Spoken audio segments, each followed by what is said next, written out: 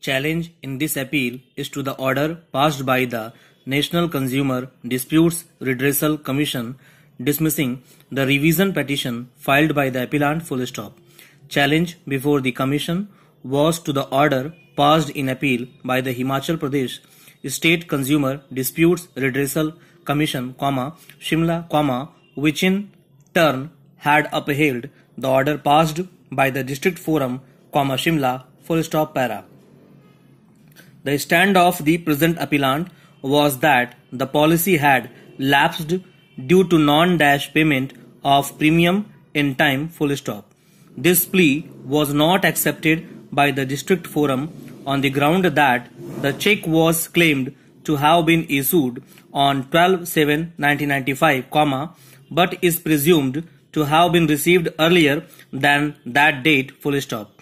The state commission held that in any event the amount was received within the grace period and comma therefore comma the claim could not have been repudiated accordingly the appeal filed by the appellant was dismissed full stop the national forum dismissed the revision holding that section 64 of the insurance act comma 1938 was applicable where the premium is tendered by postal money order or check sent by post and the risk may be assumed on the date on which the money order is booked or the check is posted comma as the case may be full stop.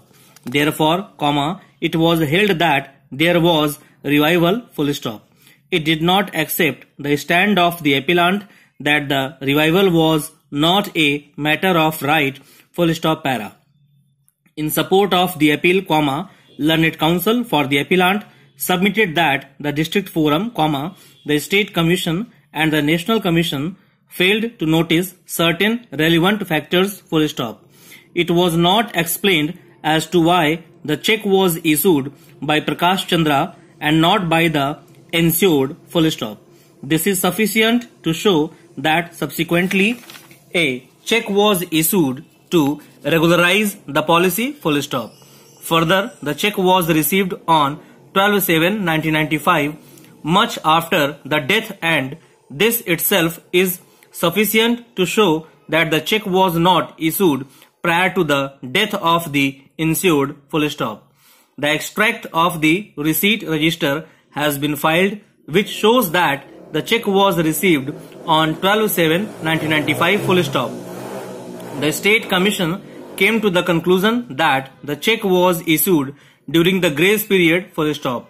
This is also factually incorrect because the grace period is 30 days, comma, the premium was due on 28-3-1995 and the check was issued much beyond the grace period full stop. Additionally, comma, section 64 of the Act does not apply to the appellant full stop.